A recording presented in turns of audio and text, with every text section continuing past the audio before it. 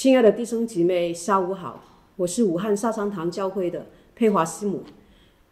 感恩上帝让我有机会，今天下午能够在这个地方和大家一起来分享，一起来勉励。全中国也在发生，呃，一个非常严重的疫情。我想现在很多的讲道都是跟那个疫情有关系的。今天我想给大家分享的一个题目叫“你看见了什么”。今天武汉的居民看见的是我们的城市像一座荒城。呃，我们在街上没看到多少的人，也没有多少的车辆在街上行走，整个城市安静的有点让人有一种莫名的恐惧。现在我们每一个人都会防备身边的人，会担心啊，这些人有没有带菌？我们也同时在担心自己身上有没有呃感染的疾病。每一个人都在恐慌之中。我们看到的是许多许多的信息，也看到许多呃人写的东西，也看到许多呃情况，包括现在的呃交通运输，包括这里的啊医院的呃的情况，也有说到很多的啊武汉的。呃，人员在外地不能回国，呃，不能回来，等等等等。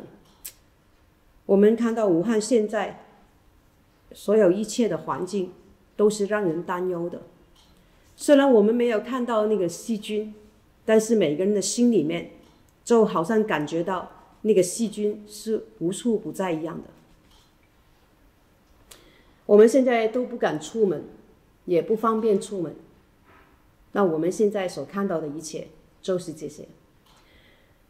在这个关键的时候，武汉人看到这一个疫情的可怕，但是我们的主耶稣又看到了什么呢？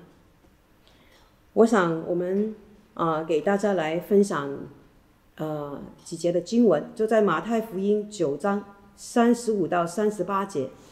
这里讲耶稣走遍各城各乡，在会堂里面教训人，宣讲天国的福音，又医治各样的病症。他看见许多的人，就怜悯他们，因为他们困苦流离，如同羊没有牧人一样。于是对他们说：“要收的庄稼多，做工的人少，所以你们当求庄稼的主打发工人去收他们的庄稼。”可能我们最关心的。是我们明天还有没有吃的，还有没有用的？我们最关心的，也是最担心的，我们的家人、我们的朋友会不会得病了？这就是我们所关心的事情。我们最担心的是生命安慰的一个问题。但是我们的主，他所看见的，并不是那个疫情。乃是这里有很多很多世上的灵魂，他们还没有认识救恩。不单我们的主关心这样的事情，他也希望我们每一个基督徒和他一样去关心那些世上的灵魂。第一点，我想分享的是，上帝希望我们看见，他希望我们看见基督徒需要悔改。瘟疫爆发。一定不是偶然的。我们记得，在一个多月之前，湖北发生地震，当时候武汉也感受到那个震动，呃，我们坐在房子里面也感受到震动。呃，刹那之间，我们的脑海就会产生一个疑问：，呃，是不是大地震要来临了？后来我们走到街头，就听到很多很多人都在议论着这个事情。突然之间，我们觉得好像离开死亡不是很远，我们也不知道会不会其实会发生地震，会不会那个地震就会离来到武汉呢？我昨天在祷告的时候，突然我就想起这个地震的事情，仿佛神在告诉我们说，这个地震就是一个。呃，灾难要临到的一个先兆一样，在瘟疫流行的时候，上帝使我们去想到生命是多么的脆弱。今天早上我们呃看到有两个新闻，一个新闻是呃有一名非常有名的啊、美国的 NBA 篮球明星，呃因为这个呃这个呃坠机而死亡，他才四十一岁。还有一个呢，就是呃我们武汉呃民中委呃的一个呃主任，也因为这个冠状病毒，呃昨天已经呃救不了了。所以我们看到，真的人的生命是不可把握，我们的生命真的非常的脆弱，不由得自我。神使我们看见这一切，也让我们想到，我们真的需要悔改在他的面前。灾难的当前，我们都会想到是人犯罪的一个结果，但是我们更多想到的是，我们要为我们的国家认罪。真的，当我们祷告的时候，我们就会想到，我们要为我们的国家认罪。我们觉得是我们的国家犯罪了，拜偶像了，各样的贪婪，各样的淫恋，各样的呃神不喜悦的行为，背逆神的行为。所以我们认为是因为我们的国家犯罪了，得罪了神，所以我们需要为我们的国家认罪悔改。但是在这里，我想讲的，神给我一个感动。他希望基督徒不但看到我们要为自己的国家认罪，我们更需要是为我们自己来认罪悔改，为我们没有真的听神的话去做悔改，为我们不勤于祷告、不勤于读经悔改，为我们没有努力的传福音、没有活出生命的见证来悔改。基督徒没有活出生命的见证，我们怎么可能去让别人来认识神呢？这个就是基督徒的问题。很多人拜偶像不认识神，是因为他们真的没有从基督徒的生命中看到一个美好的见证。这个就是神要我们去思考的一个很重要的问题。所以我们要悔改，我们的教会也要。为到因为不合意而悔改，不重视祷告，不不认真的对待神的话语，我们要悔改。我们没有行在神的公义里面，没有让人从教会的里面看到神的荣耀，来悔改。我们说基督徒在教会的时候活像一个天使，他们来到的时候都很可爱，每一个人都很很很有爱，彼此相爱，但是。当他们离开教会以后，很多时候就与一个非基督徒没有什么区别。我们知道灾难的来临是要让人去反省自己的问题，而不单单是反省别人的问题。作为一个基督徒，面对这一场瘟疫是责无旁贷的。如果我们每一个基督徒都有好的见证，如果我们每一个基督徒都要尽力尽意尽心去爱人爱神，我们常常为自己的国家祷告守望，我们能够活出基督的生命，能够向周围的人来见证神的荣美，这样的灾难怎么可能会临到呢？这一场瘟疫当中，啊，我们不单要看到是别人的罪，也要看到我们真的没有尽到基督的本分，基督徒的本分。做好我们的见证，以及没有带来国家正面的影响，没有带来我们周围的人群的一个祝福。所以基督徒真的需要在神的面前好好的来悔改，这是第一点我要讲的。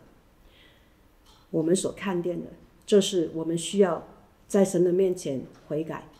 第二点，我想讲的就是上帝要我们看见。他要我们看见，他给了我们机会，看见神就是爱。为什么这样说呢？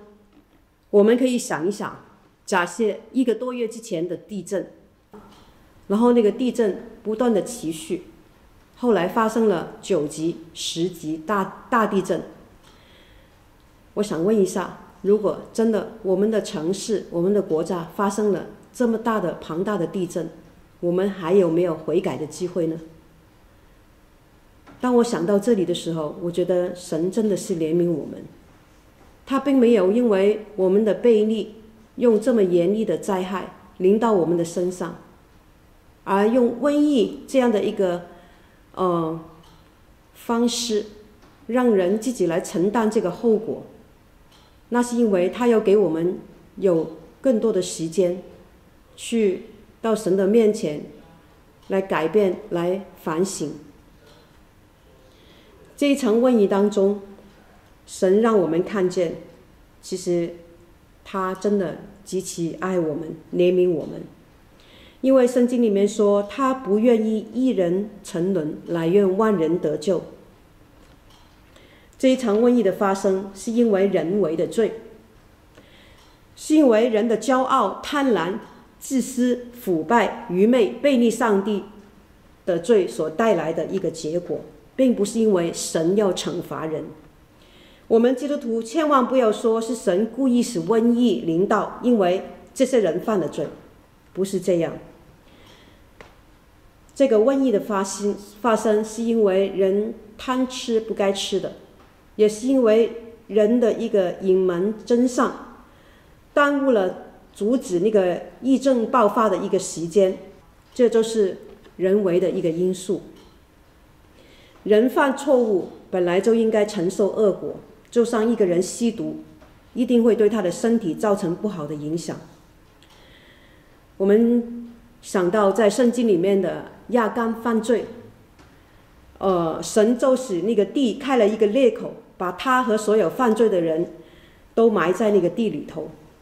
上帝今天并没有用这么严厉的方式来对待我们这些背离他的人，反而他又给我们看见我们需要悔改的机会。他也要给我们那些不信神的人可以听福音的机会。这就是神对我们的爱和怜悯。如果神不爱我们，真的，我们的城市和国家早就像索多玛、俄摩拉一样的灭亡了。我们知道魔鬼的意思就是要让更多更多的人带到地狱里面去，但是神的心意确实要让基督徒们在这个患难当中来到神的面前，认真来悔改，看到自己需要改变的地方，使我们的灵魂苏醒过来。让我们回到神的心意当中，做一个真实的基督徒，来承担这一切的责任。所以，基督徒基督徒们千万不要以为是人犯罪，别人犯罪害了你。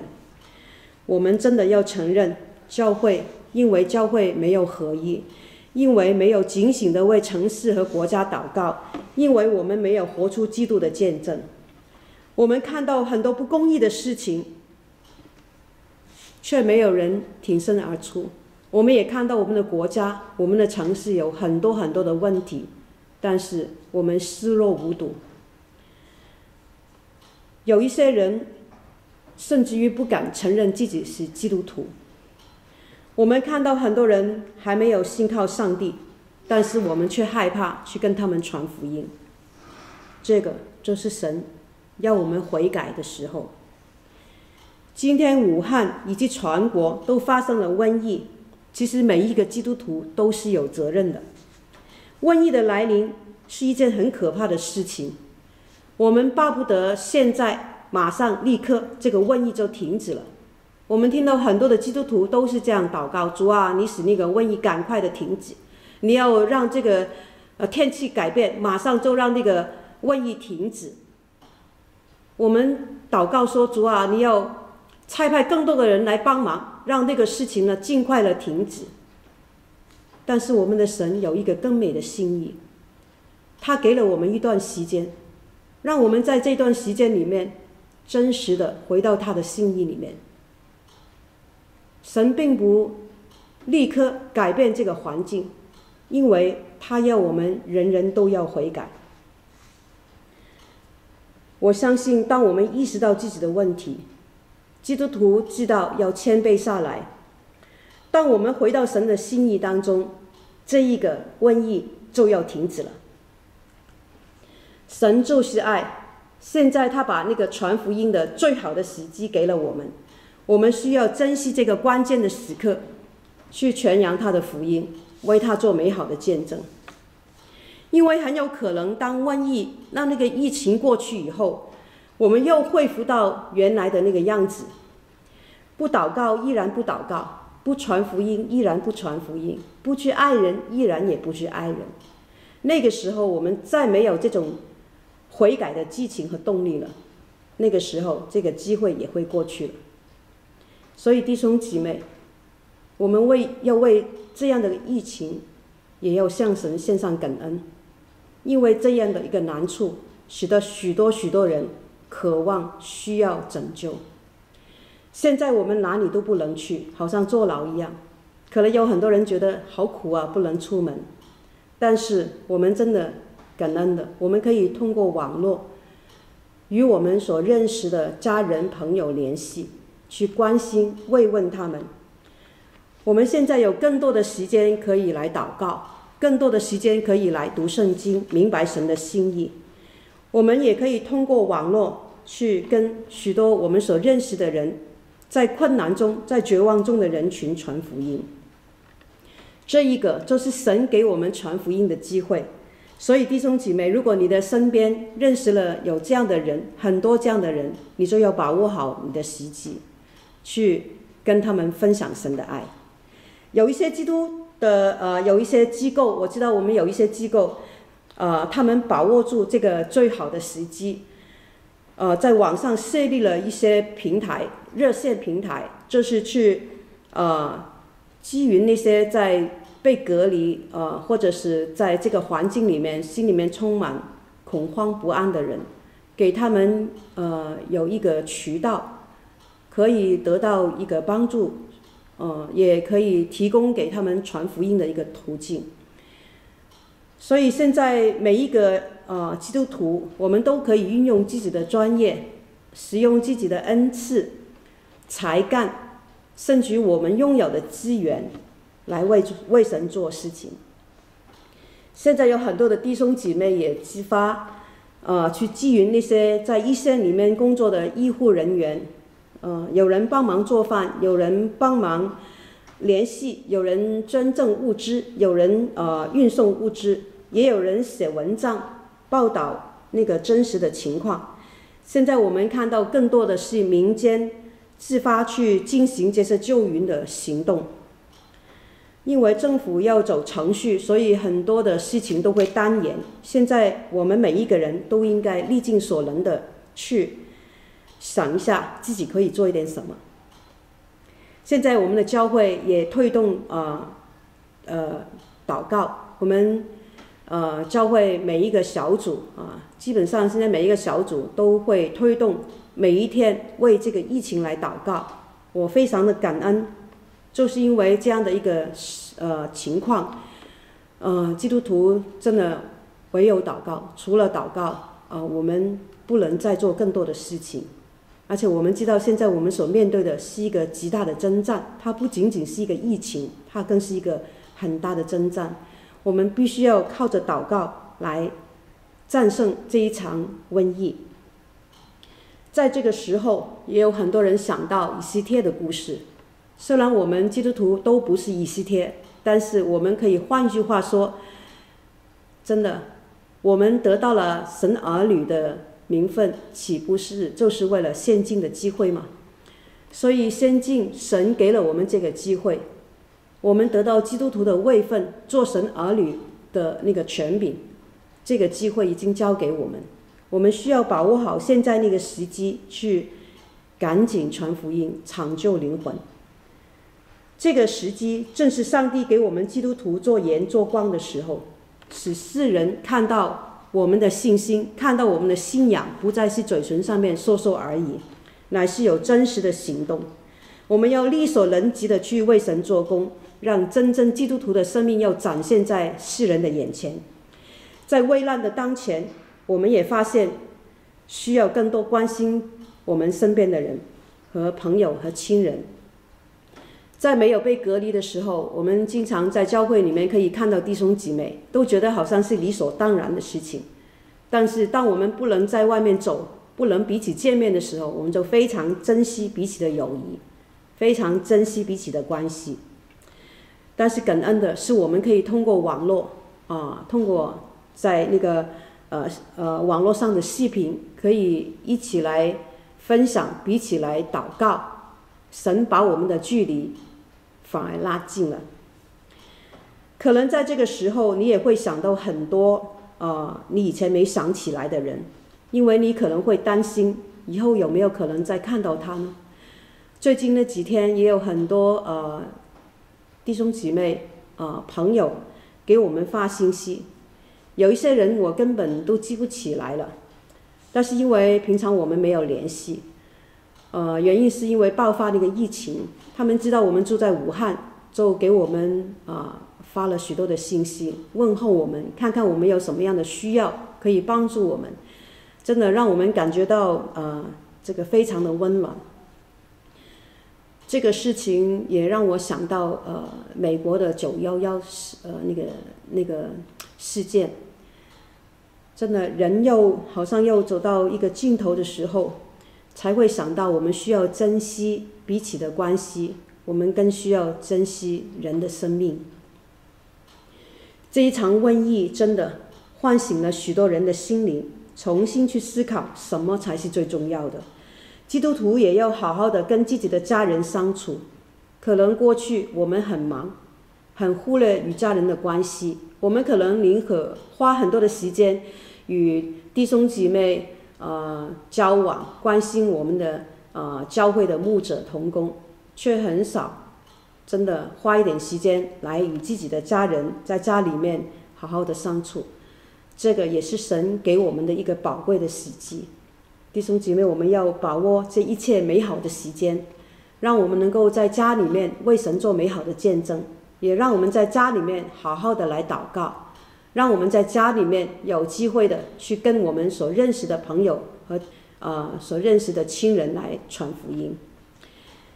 现在是一个人心惶惶的时候，每一个人都关心自己生命的安危，也正是。也正是福音可以帮助到他们的时候，因为上帝知道人要走到尽头，才知道需要上帝，也需要救恩。我们要看到的是神给我们的机会，我们并不是单单看到那个疫情的可怕，我们呢要看到神多么的爱中国人，神多么的爱我们，神没有让极大的灾难、地震的灾难临到我们的身上。他依然给我们有机会去为他做工，所以弟兄姊妹，我们在这里来彼此的分享，彼此的勉励。